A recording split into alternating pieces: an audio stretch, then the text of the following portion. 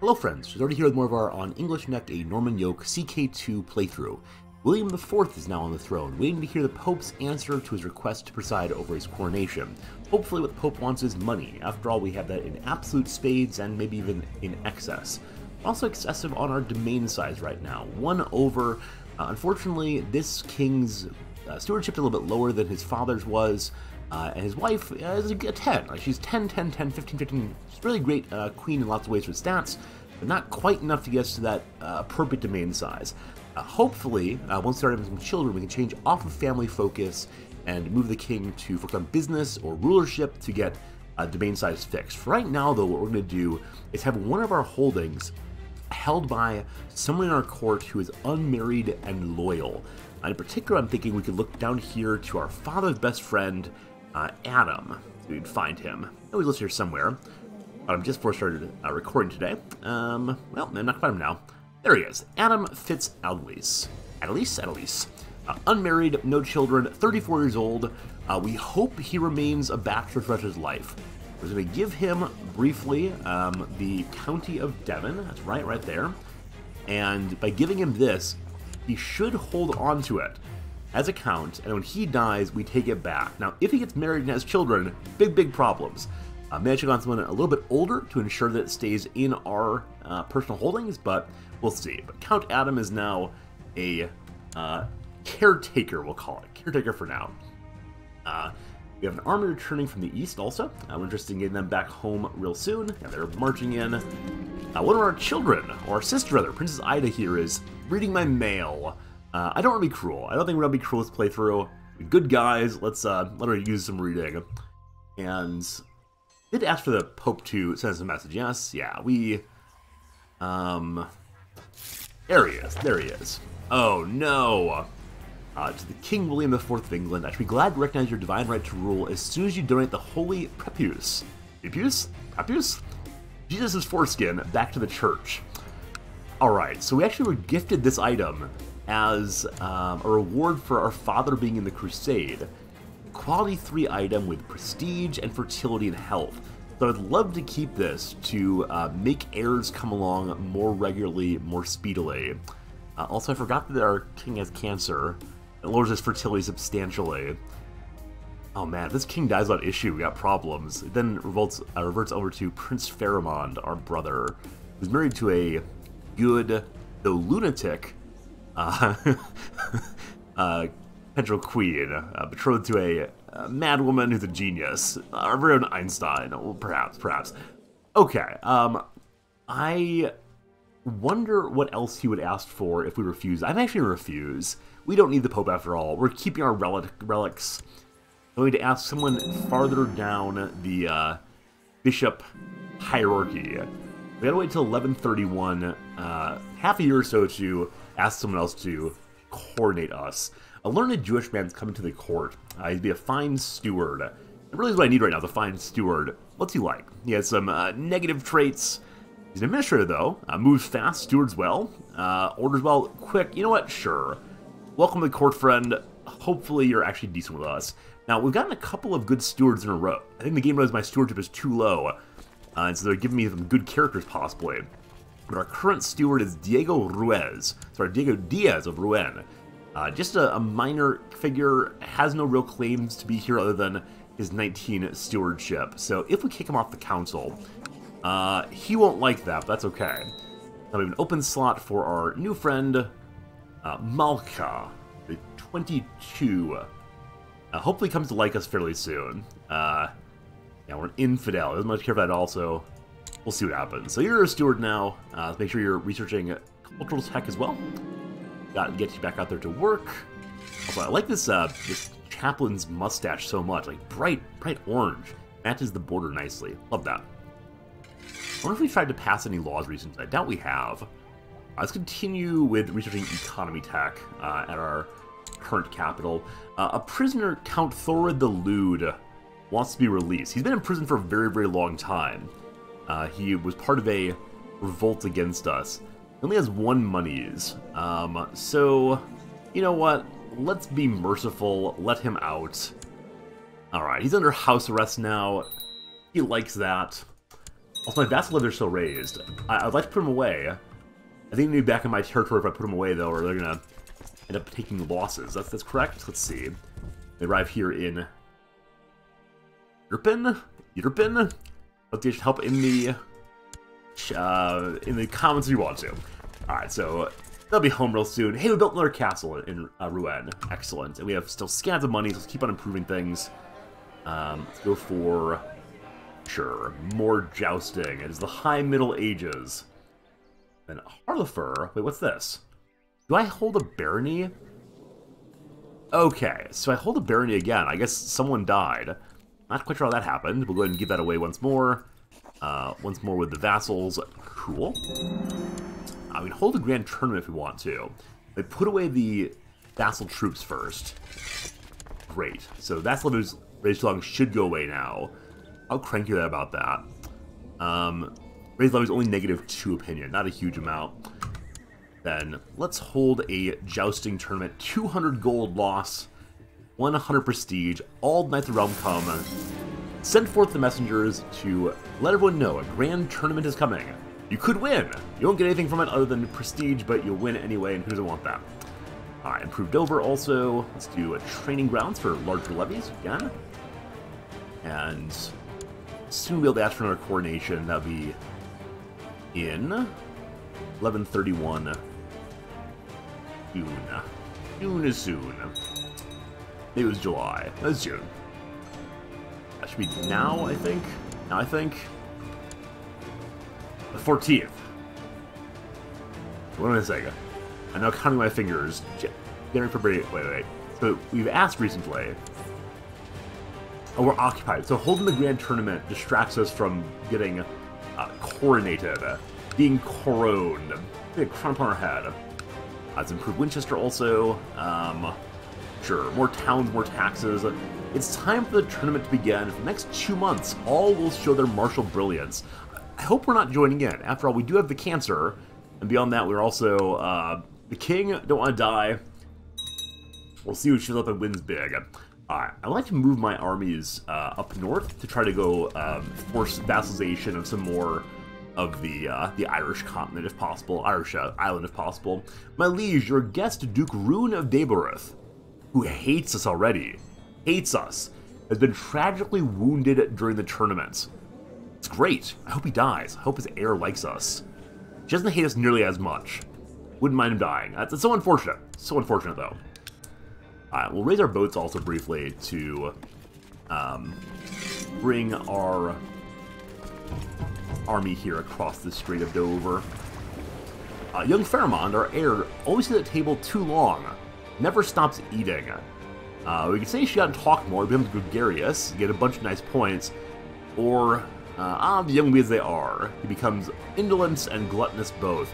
I'm gonna go for gregariousness, uh, because uh, he's likely to end up on a throne, and so gregariousness gives him nice perks to uh, attraction and also improves his diplomacy as well. So he got it, that's great. Uh, another Duke has been killed. Tragic. I wonder if that Duke liked me. Was possessed anyway, possessed by the spirit of battle, surely. Uh, unfortunate. All of our vassals are dying in a hurry here. Hard times. Oh no, Beorun's gotten injured too. He's from Leicester? Uh, Leicester? Definitely dead. I can stop asking for updates, of course, but I kind of enjoy seeing the absolute terror that's been wrought onto the families of our empire uh, as a result of the uh, jousting tournament. Fun time, seeing what happens. Okay. Okay, we can't get a coronation until, um, until we're not doing this anymore. Alright, Loden falls away to third place. Congratulations, Loden. Who are you? The Steward of Palace, right there. Oh, hope you're proud of yourself. Fought hard, well done. Baron Turquitel of Harlefleur won second place. Well done, my Baron. Your left-handedness probably confused everyone. They thought you were possessed, possibly, with your strange way of using your sword. First place goes to Ingava of Norga. What? Who are you? You're strong and 43 in personal combat. Well, well done, you truly deserve it. If I land to give away, I'd give it to you. Prosperity of the capital increases, that is fantastic. With that done, we can now uh, organize coronation. Let's we try the Pope again, or is he gonna request the uh, the Holy Foreskin back once more? I suspect. Well, we'll see. Uh, put all our boats away, and see what's what. So I believe I have a claim I can push for... Yeah, this is Westmeath. So one of my dukes, Duke Congalk the Apostle, Earl Congal of Westmeath. Yeah, so one of my, um, one of my dukes wants this land. Oh, briefly though, a message from the Pope. Uh, soon you donate what is due to the church. 350 money. How cool is that? All we had to refuse the artifact, now 350? Very well, the Pope is on his way. We don't want to launch a war when the Pope's on his way, or else that leads to uh, weird coronation events and the Pope being displeased not even coming. So how much money do we want to spend for our uh, for our being crowned? Let's spend big money. Feast for one and all. Now, again, the real fear here is that we're going to crown this king, he's immediately die of the cancer. That happens, we'll end up having wasted quite a bit of money, and it'll be very sad for everyone. Uh, but only a few days remain before crown king, before God and all the subjects. Everyone's here, never seen enough for the crown to fall upon our head. Uh, organizing this ceremony gives a chance to better know the vassals. Uh, Bishop Bertrand of St. Peter's, this is our chaplain, yeah? Uh, we could be friends. Seems nice. Uh, he's cheerfully accepted the offer of friendship. He was not wrong. To have trust put in him. We've uh, ensured lasting peace between our two realms. I mean, two realms is my uh, my throne and his working for me. Being friends with your boss, I don't know. I don't know. a little bit too much pressure. You want to go drinking after after work? You say no, what happens? You lose your job. It's horrible. Alright, but with him as a close friend on the council now, is he kind of a loyalist? Um, unfortunately, he's still a zealot. I think if you're a, a bishop, you're a zealot no matter what. Now, we'll see what happens once he loses the uh, the favor to Duchess Berthuot. Alright, morning, a curious visitor came to my court. A wandering scholar traveled to Rouen after hearing news of the coronation. He claims he's heard many tales of how great we are. He's a scholar, a priest, brave, wrathful, cruel. You know what? If you want to be here, you could be here. There's a loyal servant. I'm sure he's in for something at some point. Alright, so the only faction I get through right now that I'm concerned about is the uh, increased council power, but uh, I should actually takes more power away, I'm sure. Uh, I kneel before Pope Clemens III as a host of vassals surround us in complete silence. The Pope blesses me and places the royal crown upon my head, proclaiming the King of England by the grace of God. Truly and finally King, there's that crown on his head. That should make the vassals very happy. They believe that God wants me here. And who wouldn't? Who wouldn't? Alright, now we're no longer um, getting coronated. We can go ahead and attack Westmeath. Uh, though I'm curious if they just like straight vassalize. No. Uh, because... I mean, actually, if I give him a little money, he might vassalize, but he has no... Uh, he has some counts and earls on his team, but I suspect we take them all at once. Uh, force vassalization, we're allowed to do. We'll get the HRE, and... Actually, we don't have France as an ally anymore. What happened there? Glad we noticed this. Not a big deal for fighting one Irish count. Going to be a big deal in the future, though. Uh, king Hugues III of France. What happened to the uh, the prior king? history of the Kingdom of France. Uh, so, Rorgon the Spider died a few months ago of murder?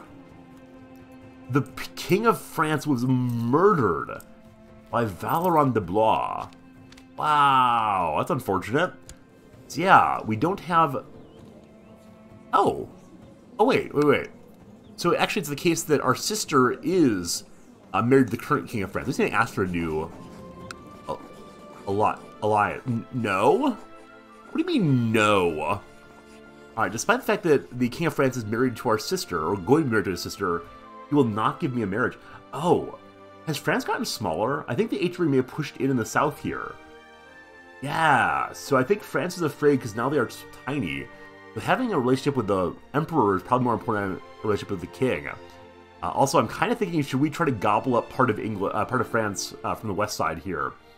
very distracted on the east side. We'll get to that after we get to uh, unifying Ireland, but I want to make sure that the HRE does not gobble up all of France before we get a taste also, though, man, the HRE's got some good territory down in Spain also. Um, we're down in uh, Iberia in general. They still got problems with our friends, the uh, Almoravids, but they, uh, are doing well taking over more and more land from Leon. Isn't Leon Catholic, though? It is. It is indeed. So, yeah, the Catholics in the middle are probably going to gobble up real soon. We'll see what happens. Okay. But for now, I would like to launch this war, and we can declare it, um, push it for this Duke. He sure would like it. He already likes me a little bit. Um, you know what? Sure, let's make a Duke a little stronger. Not the worst thing in the world. So a whole bunch of different um, allies are coming to help this uh, Irish friend. I don't think we need our allies, though. So I'm going to keep them on the sidelines. That'll make them much, much happier. Our father-in-law has died in bed. No! We liked him. He took us fishing regularly. Uh, this is the Princess of, of England who's being married to Lothringia. Um, let's make her good at monies. That seems like a nice thing to do. I want to help our, our HRE friends survive for now. Eventually we'll have to uh, go to war with them, but not quite yet. Alright, nice victory there. Uh, I wonder who the other uh, allies are here. They're not coming to the war, possibly? I'd be staying out of it. Oh, we're paused. Like, why is nothing happening? Why are the troops standing firm? Because we're paused, as always. As always. Alright. I think I kind of ignore this. My only concern is what will more troops march down from the north here, but we'll siege down. We'll finish that very quickly. And then hopefully the Irish um, earls will all bend the knee quickly. Not too interested in fighting county by county. We have to, we will, but uh, I wonder how what this does for us in terms of giving us a uh, duchy. Duchy of Meath actually already held by... Oh. Held by the guy we're helping. That's delightful, then. That's delightful, then. So we're actually completing a duchy right now. And then how close are we actually becoming King of England? Sorry, not England. We're already King of England. King of uh, Ireland, rather. We gotta have um, quite a few more counties. Yeah, there's so many counties here. Time has passed since the coronation, but people of Rouen are still in a festive mood, glad to see their king's status be recognized by the church. It'd be nice to see my subjects continue to celebrate my rise to the throne, were not for the fact they're also using an excuse to do less work. Alright, so our capital is still Rouen. I thought I moved our capital up to uh, London. Maybe not, though. We'll look into that in a second. Uh, get back to work, lose prestige, revolt rate increases. Uh, let's lower taxes a little bit, that's fine. Make people happy, the king only gets crowned once his life. Okay. I moved the crown focus here. Did I also not move the capital here? They'll move the capital during peacetime. Whoops. Yeah, I guess I didn't actually move the capital. we'll do that next time. Um, my war ended inconclusively. Why? Did the Duke die? Okay, yeah, a new Duke's on the throne now, uh, over here. So that was a good war, I guess. Uh, we can use this time now to move our capital to here. Can't move for 600 months, that's fine. No, right spot. And hey, we do technology now, as we moved. So what technology should we do? What technology should we do? Let's do uh, heavy infantry improvements. Always makes sense at this point, uh, as we are doing a lot of that. We'll hit horses also, we have very few horses currently. And then we can make our cities and temples better. What will that do? Uh, higher taxes and more buildings too. Heck yes. And then lastly, over here in cultural advances, we do legalism or majesty. Uh, let's go and pull up the law page and see. I could go back to free investiture, uh, which upsets the Pope. Um, what do the council say about that? We'll see. If we go to religious control, we can then get rid of uh, vassals who are not our religion. But I think at this point, basically everyone's Catholic up here. I mean, certainly in Ireland they are. Uh, maybe we get up to the north of Scotland. Scotland is all Catholic also at this point. Is that correct? Yeah, I mean everyone's Catholic up this way. Uh, in even even the Norwegians are Catholic, so no, we don't need a religious uh, law at this point. We need a higher centralization. This would increase our personal domain size by a bit, and it would. Well, actually, everyone supports it. Everyone supports it because it lets everyone have more domain size. You know what? Doing things that make the uh, the uh, council happy seems good to me. Uh, all of our obligations are still balanced. I'd probably start shifting these around. Uh, I'll have to think about the best way to do that. I've, I've never think anyone I played with ever actually switched these around, uh, except when I needed troops urgently. Uh, but yeah, let's go ahead and change to higher centralization. Um, I think once we're at high centralization, we can then move towards later to administration, correct? No, for that we have to have, to have legalism level 3. So this allows more session laws and vassals who refuse to refuse my interference in war are seen as traitors. Alright, so let's go ahead and bump our legalism again to 3. With that, we now have access to late administration. Um, our council does not care for this, unfortunately. When they have one supporter named Count Magnus of Cornwall, we pull up the council page. But even the loyalists are against it. The loyalists are against it because they have a favor on her. Also, I'm just going to Chancellor right now. So, Duke Swithred here is the best diplomat in the world. He's 61 years old. Hates us so darn much. Alright, where's the nearest loyalist? Alright, so the loyalists do not have Chancellor points this day. Alright, to make this Duke happy, this Duke actually revolted against our father once upon a time. For now, for his last days, he can be on the council. Uh, in this year, what, 1132, you're not going to live too terribly long. Uh, and we'll... Do we need to leave him on making nice with the states? I mean, do I want to get claims on anything? I, I think we... What claims do we have down here in... Um... Uh, so we have a claim in France already. So we can launch the war over that. But I should probably get some more claims along the French border. Um... I want all of it, obviously. Well, I'm not going to launch this war, actually. I'm curious, what claim types do I have? I have the Great Conquest of France. You are very powerful, and so is King Eudes III of France. It's time to show them who is strongest. Spending a ton of prestige and piety, you go to war for an entire kingdom, as long as they are as strong or stronger than you. Huh. Well. Well. Aquitaine and France fighting could be amazing. The vassals are down with it. The vassals want me to go explore with France. Again, if we get the HRA to help, it'd be amazing. That'll come soon enough. Alright, let's not make any claims there. For now, I'm going to keep my chancellor on making nice with the uh, other other vassals. And let's do a declare here again. Now they're saying no. They're against it now because of... Zealots has more important wars currently. And yeah, my loyalist has been bribed. So how long you bribed for, friend? How, how long are we stuck in this council causing troubles? When is the council not causing troubles? Only nine months more. Alright, then we'll get to it for sure.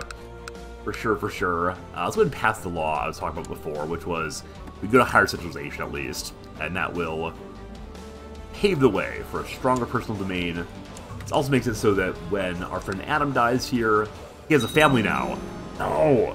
He's gonna steal my, my, my county here. Alright, we have higher centralization now, and we have too many vassals, unfortunately. Uh, but we're allowed to have one more in domain. I probably should have done that instead of giving away this piece of land at the beginning of the episode today. Well, live and learn. And we'll get back to that again real, real soon. Thanks for watching, folks. Appreciate it.